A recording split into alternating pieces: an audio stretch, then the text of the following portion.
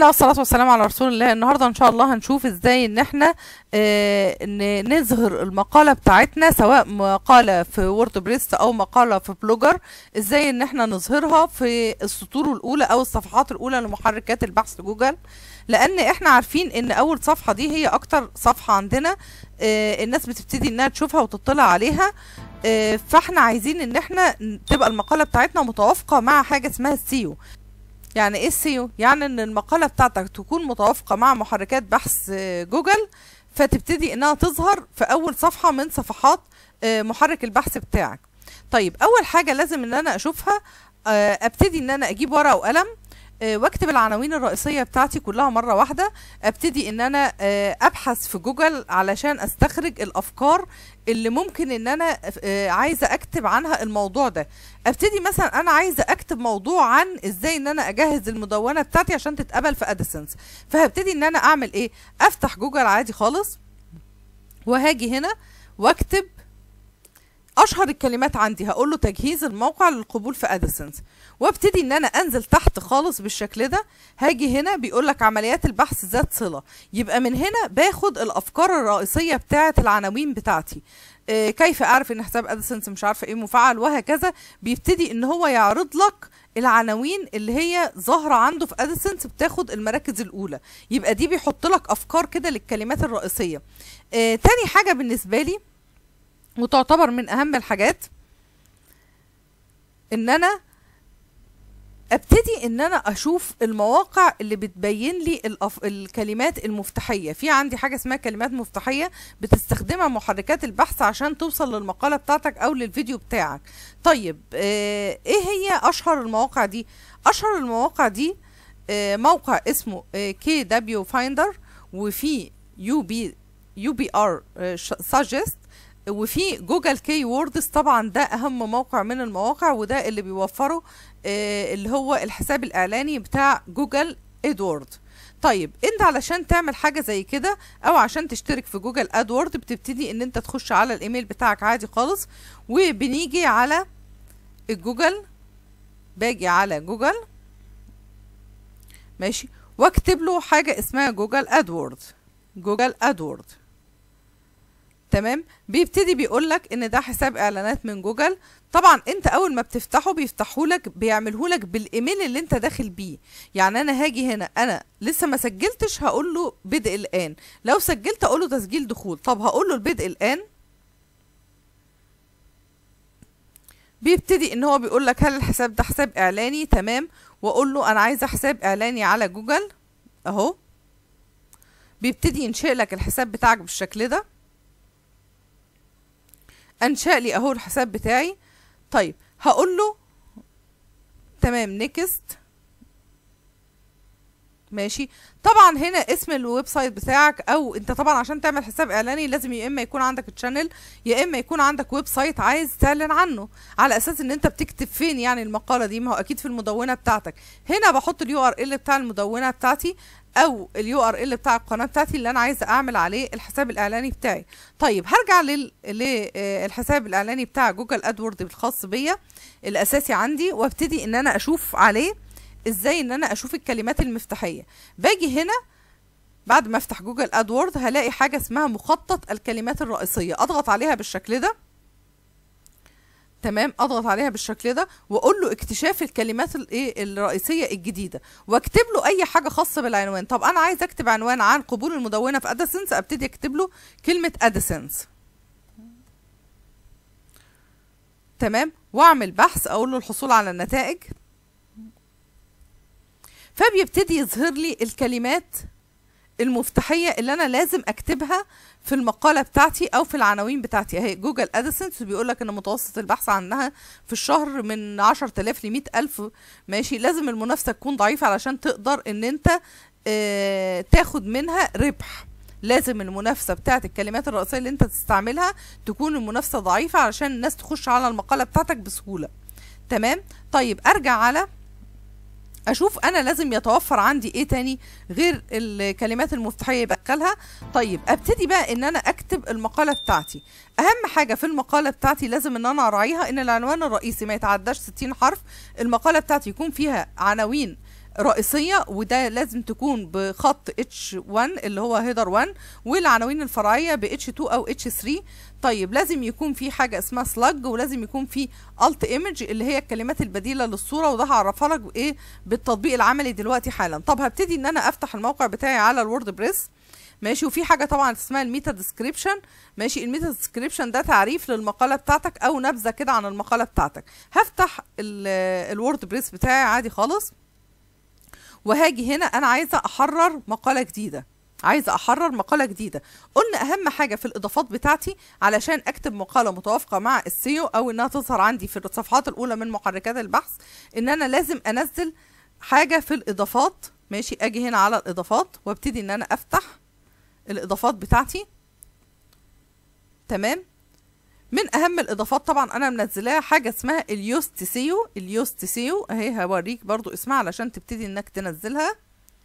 ال Yoast SEO أهي. ماشي تكتبها في الإضافات بتاعتك وتبتدي تعمل لها تنزيل. ممكن ترجع آه للدرس بتاع إزاي إن أنت تعمل الاضافات في ال WordPress تسطب الإضافات في ال WordPress عشان تنزلها. طيب أنا نزلت حاجة اسمها ال Yoast SEO أبتدي إن أنا أكتب المقالة بتاعتي. طيب أنا جهزت المقالة بتاعتي أهي على ال Word. ابتديت إن أنا كتبتها. على ال Word اهي. ابتديت ان أنا كتبت المقالة بتاعتي وحددت العنوان بتاعي وحددت العناوين الفرعية بتاعتي. عايز بقى اكتب المقالة ده اهي على ال WordPress بتاعي. هاجي هنا واخد العنوان اللي أنا اخترته للمقالة بتاعتي تجهيز الموقع للقبول في Google AdSense وابتدي أقول له تمام انسخه بالشكل ده. واجي على المقالة بتاعتي واضيف مقالة جديدة. ماشي اهي هبتدي ان أنا اضيف العنوان بتاعها. عشان أضيف العنوان لازم يبقى أول سطر عندك في المقالة بيحتوي عنوان المقالة بتاعتك تمام؟ وأبتدي طبعا إن أنا أنقلها كده ماشي؟ ممكن إن أنا أختارها. هنا بقى دي أهم حاجة. أنا دي مش فقرة دي أنا عايزاها هيدر 1 باجي من هنا بصوا كده بختار ترويسة واحد اللي هي اتش واحد هيدر 1 تمام؟ يبقى هو كده عارف إن ده عنوان من العناوين الرئيسية بتاعتي. أختار لون النص بتاعي من هنا أهو. تمام؟ وانزل تحت هنا هلاقي إن الإضافة ظاهرة معايا وبقول له Yoast SEO وبيبتدي إن هو بيقول لك ال SEO اكتب عبارة العبارة الرئيسية المفتاحية أضغط هنا وابتدي إن أنا أكتب العبارة الرئيسية بتاعتي. باجي بالشكل ده وانزل. بيقول لي حاجة اسمها الاسم اللطيف أو ال slug ال slug ده إيه؟ اللي هو محركات البحث هتبتدي تشوف انت في إيه من الكلمات المفتاحية اللي انت حاططها في العبارة بتاعتك وبتشيلها عندها. بمجرد ما حد بيكتب أي أي جملة أو كلمة من الكلمات المفتاحية ده بيجري يظهر المقالة بتاعتك. ببتدي إن أنا أكتب الاسم اللطيف بتاعي وأقول له مثلا أهي control V وليكن إن ده اسم أولي وأقول له تحليل SEO. ده من أهم الحاجات تحليل SEO. عشان أبتدي أشوف أنا هحط إيه تاني في العبارات بتاعتي. هنا أول حاجة بيقول لك إيه؟ أضف مترادفات. طيب أرجع على المقالة اللي أنا كاتباها على ال Word. أخدها بالشكل ده. control C. وأبتدي هنا. على المقالة بتاعتي أطلع. وأقول له هنا control V. تمام؟ طب أنا عايزه أعمل ما هو ال WordPress ده أعمله؟ قلنا إن أنا لازم أحط عناوين فرعية. يبقى أجي هنا وأقول له header 2 اللي هي ترويسة 2 وأجي على مثلا ده أقول له دي برضو header 2 عشان يبتدي يحدد لي إن أنا كده حاطة عناوين فرعية. طبعا بقى أنت زي ما أنت عايز. غير اللون بتاعها زي ما أنت عايز. أهي. عشان تظبط منها. وأبتدي إن أنا أنزل تحت أشوف أنا ناقصني إيه. ماشي؟ بيقول لي انت لسه كده ما عملتش حاجة أضف روابط أو العبارة الرئيسية في المقدمة الخاصة بك أو مترادفاتها لا تظهر في الفقرة الأولى. يبقى لازم تظهر عندي العبارة الرئيسية دي لازم تبقى موجودة في الفقرة الأولى. ماشي؟ يبقى أنا هاجي هنا. طبعا ارجع هنا على النص بدم هي مش ظاهرة معانا.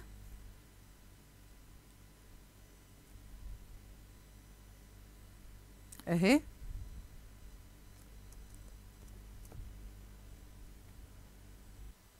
ظهرت اهي عندي هبتدي إن أنا أخليها بولد زي زي زي, زي بقية الخط كده. تمام؟ يبقى أنا كده خلاص حطيتها في إيه؟ حطيت العبارة الرئيسية حطيتها فوق. حطيت العبارة الرئيسية فوق. تمام. هنزل هنا. لازم إن أنا أحط طبعا صورة عشان إيه؟ أغذي المقالة بتاعتي. يبقى آجي أحط مثلا صورة أكتب له آه أي حاجة بقى موضوعات تهمك مثلا. هاجي هنا أضيف الوسائط من هنا أحط ملفات الصور بتتحط من هنا بضغط عليها بالشكل ده وهاجي أقول له مثلا موضوعات تهمك. ماشي. لو أنت عندك لو أنت ملاحظ إن في عندك حاجة اسمها النص البديل النص البديل ده اللي هو الألت ايمج ده لازم إن أنا آخده كده وأحط فيه نفس عنوان المقالة أحط فيه نفس عنوان المقالة. تمام؟ وأبتدي إن أنا خلاص كده حددت تمام؟ مش عايزه أحط صور تانية أقول له أضف. أضف ملف. الوسائط. المقالة. راح جاي دارجها لي أهو في المقالة. وأبتدي هنا أنزل. طب أنا لازم أعمل حاجة بقى مهمة جدا. أرجع تاني أشوف إيه إيه اللي, اللي ناقصني. يبقى أنا دلوقتي عملت العنوان ما يتعداش 60 حرف. عملت اتش 1 و اتش 2 اتش 3 البلج بتاعي. عملت ال alt image طب عندي حاجة اسمها ال meta description لازم أحدد ال meta description وده عبارة عن وصف للمقالة بتاعتي. بنزل هنا. ماشي وأشوف كلمة ال meta. أهي بيانات ال meta. دي الكلمات المعبرة أو الوصف أو الواصفه للمقالة بتاعتك. يعني أنا هنا ذاكرة إيه؟ ذاكرة طبعا كلمة AdSense تمام؟ بفصل ما بينهم بشرطة وذاكرة مثلا كلمة إيه؟ مدونة. وأحط مثلا WordPress ماشي. عن طريق الكلمات المفتاحية ده اهي هو بت- بتبتدي محركات جوجل تلاقي المقالة بتاعتي. وابتدي ان انزل أشوف هو عايز مني إيه تاني. عايز روابط. يعني إيه روابط خارجية بقى وروابط داخلية؟ ماشي. هاجي هنا.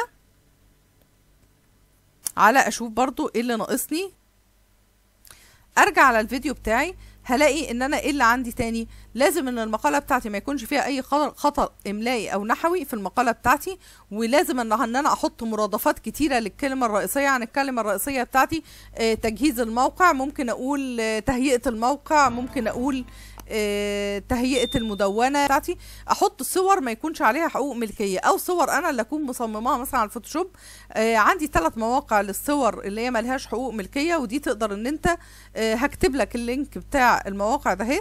آه، من أهم المواقع دي طبعا موقع Pexels أو Unsplash طبعا أنا شرحتهم قبل كده ممكن إن أنت تشوفهم تاني. أهي مثلا حاجة زي الموقع ده. هاجي هنا أكتب الكلمة اللي أنا عايزة أدور عليها ولتكن جوجل مثلا. تمام. ابتدى إن هو طلع لي الصور الخاصة بجوجل بالشكل ده. ماشي. الصور دي كلها من غير حقوق طبع ولا حقوق آه يعني ملاك دي هم مديها لك عشان تقدر تستعملها. باجي هنا وأقول له download free أختار طبعا المقاس بتاعها سمول أو medium أو large آه أبتدي إن أنا أنزل الصورة اللي أنا عايزها. يبقى الصور دي أقدر إن أنا أستعملها أو إن أنا أستعمل أي صورة من الصور اللي أنا أكون مصممها. أرجع للمقالة بتاعتي بالشكل ده. يبقى أنا اخترت عملت حطيت الصورة اللي فيها موضوعات تهمك. لازم أراعي في علشان المقالة بتاعتي تظهر على طول إن أنا لازم أضمن مقاطع فيديو سواء من اليوتيوب سواء من ال channel بتاعتك أو أي channel تانية. آه لازم إن أنا أحط حاجة اسمها لينكات خارجية أو داخلية وداخلية. طيب يعني إيه؟ يعني أنا بحط روابط لمقال تاني يكون موجود عندي في نفس المدونة بتاعتي أو لمقالات خارجية تكون مرتبطة بالمقالة بتاعتي. تمام؟ طب أعمل حاجة زي كده إزاي؟ هرجع على المقالة بتاعتي بالشكل ده وأبتدي إن أنا أطلع على المدونة بتاعتي. تمام؟ أدور على موضوع عايز إن أنا أحطه مثلا في موضوعات تهمك. هدور على موضوع من المواضيع. تمام؟ هحط حاجة زي كده أبتدي إن أنا أختار العنوان بتاعه control C وأرجع على المضا... المقالة بتاعتي وأبتدي إن أنا أنزل عايزة أحطه عايزة أعمله دوت رابط داخلي مثلا لمقالة موجودة في المدونة بتاعتي. أعلم عليه بالشكل ده وأجي هنا أطلع على العنوان بتاع المقالة اللي هو ال URL بتاع المقالة وأقول له Control C أخده انسخه وأجي هنا على العلامة دي. أضغط إدراج رابط إدراج رابط تمام؟ وأقوم جاية Control V أبتدي إن أنا أحطها ألزقها بالشكل ده تمام؟ Enter يبقى أنا أضفت هنا رابط داخلي موجود موجود في قلب المدونة بتاعتي. طب عايزة أضيف روابط خارجية أعمل إيه؟ حاجة مثلا لو عايزة أضيف أقول مثلا آه، آه، نزور جوجل أي بقى موقع. بص إحنا هنحط بس رابط أي موقع عشان تتعلم إزاي إن أنت تحط رابط موقع. جوجل. هبتدي إن أنا أعلم عليه أهو بالشكل ده. عايزه أحط الرابط بتاع جوجل هاجي على جوجل وآخد ال URL بتاعه Control C وأرجع تاني على المقالة بتاعتي وأقول له إدراج رابط. طبعا أنت هنا بقى بتضيف روابط لمقالات تانية من أي مدونة تانية سواء أجنبية سواء عربية تكون مرتبطة بالايه بال- بالمقال بتاعك. Control V يبقى أنا كده ضفت رابط داخلي وضفت رابط خارجي تمام؟ طيب بيقول لك تقدر كمان تضيف فيديو. طب أنا عاملة هنا فيديو على ال channel بتاعي خاصة بتجهيز الموقع للتسجيل في AdSense باجي هنا فوق وابتدي إن أنا آخد ال link بتاعها بتاع الفيديو بتاعي كده Control C انسخه وأرجع على المقالة بتاعتي. عايزة إن أنا أضيف الفيديو دوت أعمل إيه؟ باجي هنا أضيف ملف وسائط. واختار ادرج من رابط ادرج من رابط. واجي هنا أمسح ده وأقول له Control V. تمام؟ ابتدى ان هو اظهر لي اهو الفيديو بتاعي بقول له إيه إدراج في المقالة. إدراج في المقالة. اهي إدراج في المقالة. ضغطت عليها راح جاي حاطط لي الفيديو بتاعي في المقالة. تمام؟ طيب.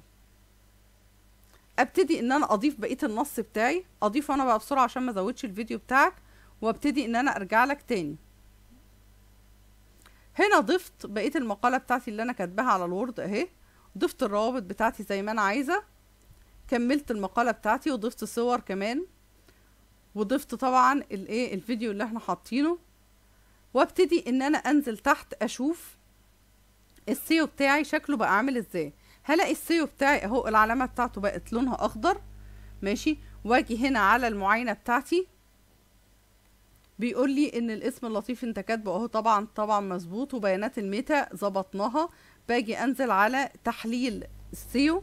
ماشي. بيظهر عندي إن الارتباطات الخارجية مظبوطة والارتباطات الخارجية والعبارة المفتاحية وهكذا بيديك التعليمات كلها. بطلع على المقالة بتاعتي بالشكل ده وأشوف هنا ال SEO بيقول لك جيد. أول ما يظهر اللون الأخضر ده يبقى أنت كده خلاص ال SEO بتاع المقالة بتاعك جيد والمقالة بتاعتك دي هتظهر في أول صفحة من صفحات البحث بتاع جوجل. تمام؟ بضغط بضغط تحديث من هنا. وارجع على الجوجل اكتب عنوان المقالة بتاعتي عشان أشوف هل الحاجات دي كلها أثرت معايا. ماشي؟ والمقالة بتاعتي ظهرت في أول صفحة من محرك البحث جوجل ولا لأ؟ أهي Control C. هاجي على جوجل وابتدي إن أنا أضغط Control V أهي. وابحث عنها. أنزل على المقالات.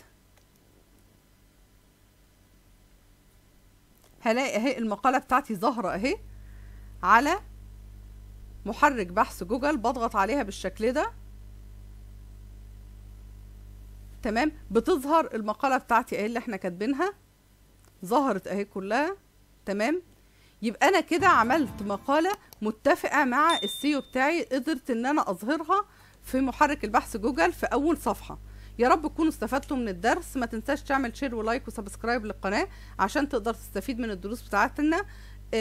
أشوفك في المرة الجاية. أي سؤال ممكن تكتبولي في التعليقات وأنا برد على كل الأسئلة. والسلام عليكم ورحمة الله وبركاته.